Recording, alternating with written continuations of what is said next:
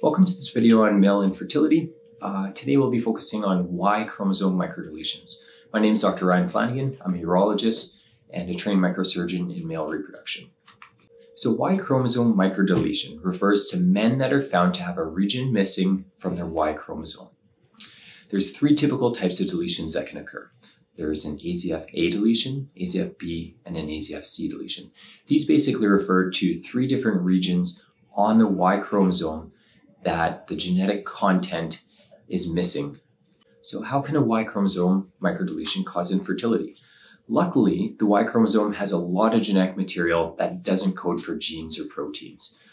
However, there are some critical genes that are required for sperm production that exist on the Y chromosome.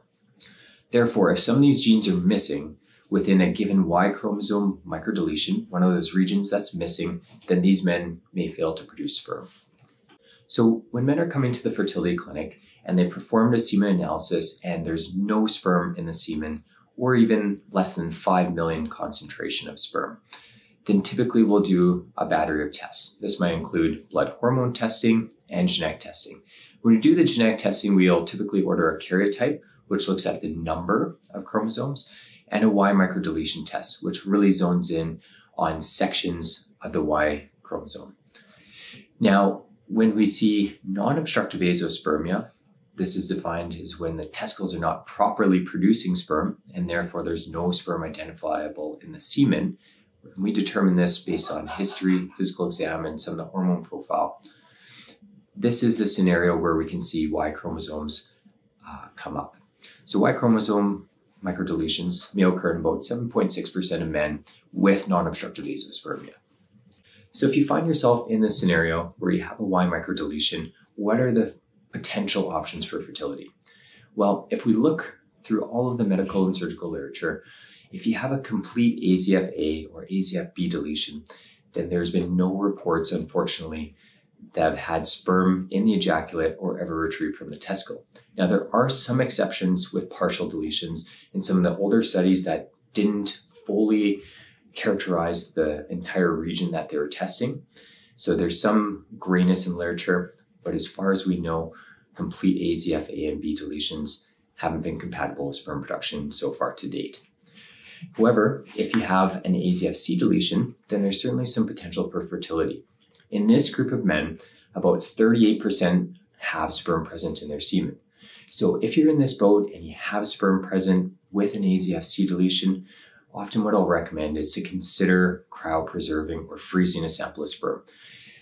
In this case, if we happen to have variability in sperm production over time and we have much lower numbers, this could serve as a plan B that you could use uh, at some point in the future if we can't produce fresh sperm in the ejaculate.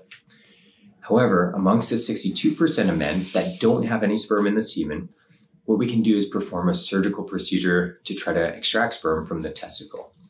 So when we're trying to perform a surgical sperm retrieval for men with AZFC Y microdeletions, the typical approach that we use is something called a microdissection testicular sperm extraction. We refer to this as microTESE for short.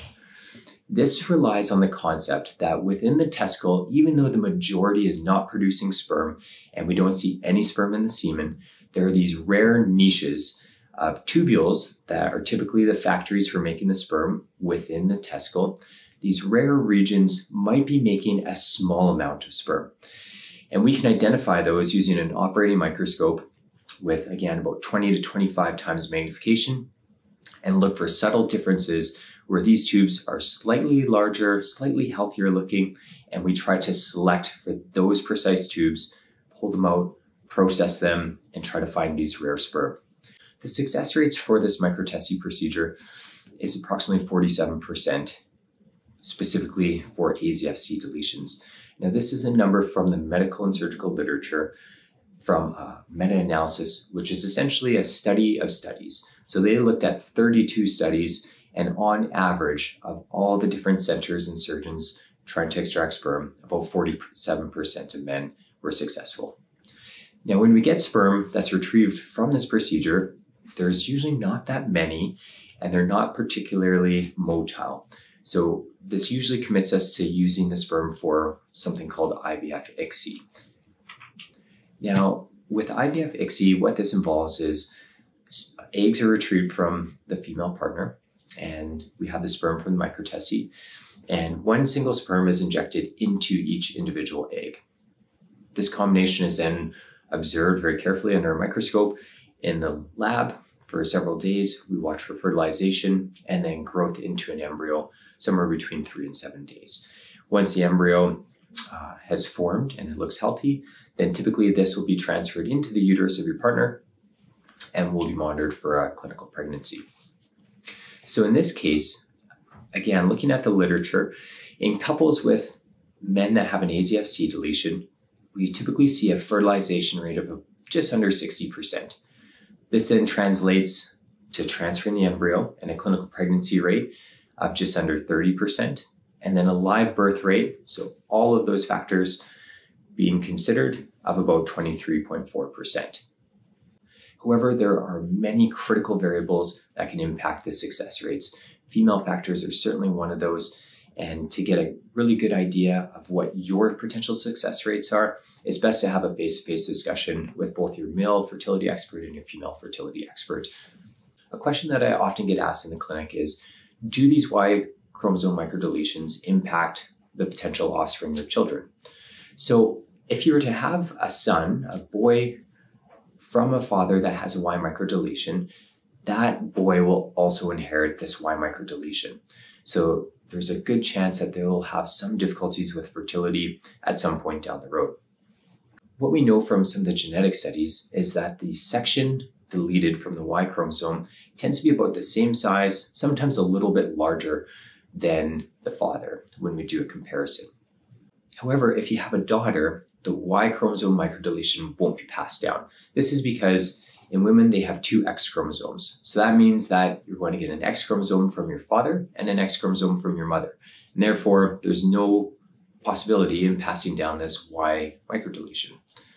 Elsewhere in the medical literature, looking at other potential health concerns, the vast majority of literature does not suggest that there's any increased risk of health concerns compared to the general population.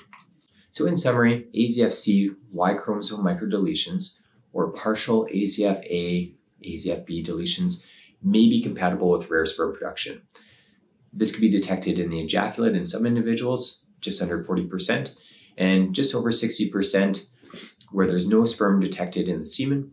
Then typically we can try to ex extract this from the testicle using a microTESE, and this provides the best chance of retrieving sperm. If we do find sperm, we typically have to use it for IVF ICSI, where they use a sperm and an egg and they inject the sperm into the egg. Thanks for watching this video. If you'd like more information, feel free to visit my website or the YouTube channel listed here and my Twitter handle below. Thanks very much.